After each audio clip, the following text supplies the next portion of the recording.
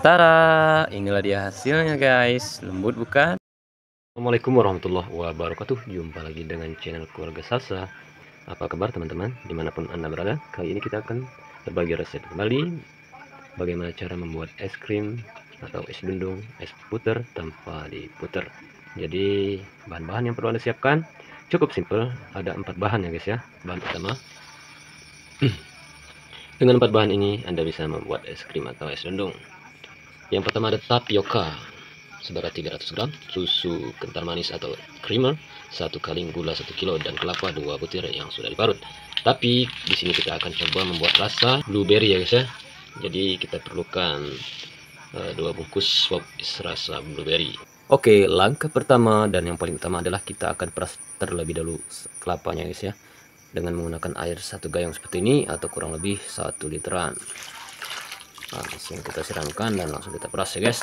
Oke sambil kita membuat santan kita akan siapkan juga air rebusannya sebanyak dua gayung. Satu.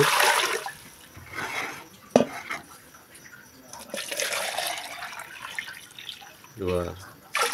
Jadi kita total gunakan tiga gayung. Satu gayung untuk membuat santan dua gayung untuk kita rebus ya guys. Oke kita akan peras terlebih dahulu ke santan kelapanya guys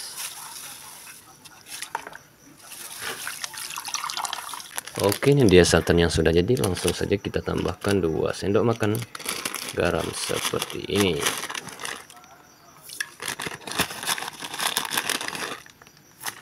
Langsung saja kita aduk-aduk.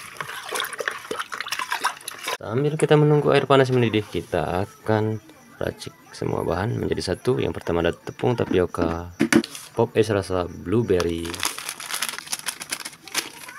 kita masukkan separuhnya dulu ya guys untuk sisanya nanti. Kemudian kita akan larutkan adonan ini dengan satu gelas santan seperti ini. Kita aduk-aduk sampai dia rata ya sampai dia larut. Sampai dia tidak ada yang gumpal-gumpal.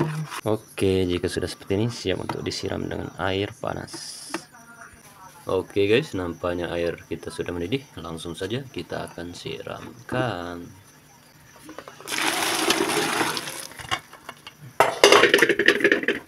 Langsung saja kita aduk-aduk ya guys ya. Oke, selanjutnya kita tambahkan gula.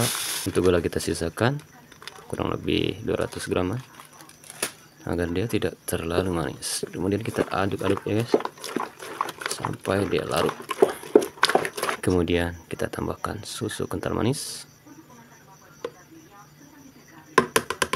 Kita aduk lagi. Dan yang terakhir kita tuangkan santannya. Langsung saja diaduk lagi guys. Dan untuk mempercantik rasa kita akan tambahkan pasta pewarna makanan atau perasa makanan dengan rasa yang sama yaitu blueberry ya guys. Kita tuangkan sedikit saja untuk mempercantik ini guys. Langsung saja kita aduk-aduk. Oke jika sudah seperti ini siap untuk kita kemas dan bungkus-bungkus ya guys. Ini dia hasilnya yang sudah kita bungkus-bungkus ya guys. Ini dia hasilnya yang sudah beku dan siap kita potong-potong ya guys Oke jika sudah seperti ini siap untuk kita giling dengan mesinnya guys ya. Oke, kita hidupkan terlebih dahulu. Kemudian kita masukkan es krimnya dan langsung saja diparut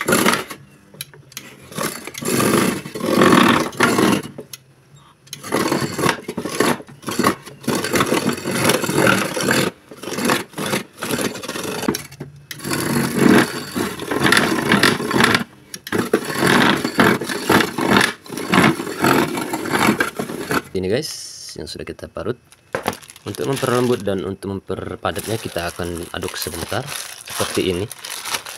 Seperti kita menguleni kue ya atau adonan.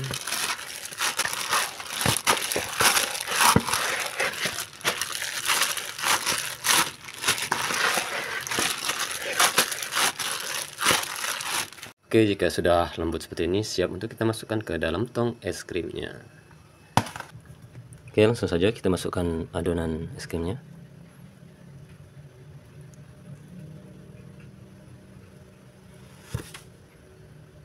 Oke, kemudian kita ratakan. Oke jika sudah rata seperti ini siap untuk kita peramnya guys ya. Agar dia keras. Dan setelah itu jika sudah 15-20 menit kita kompres dengan es batu dan garam. Kemudian siap untuk kita dagang dan ini dia hasilnya. Akhir kata wabillahi taufiq walhidayah wassalamualaikum warahmatullahi wabarakatuh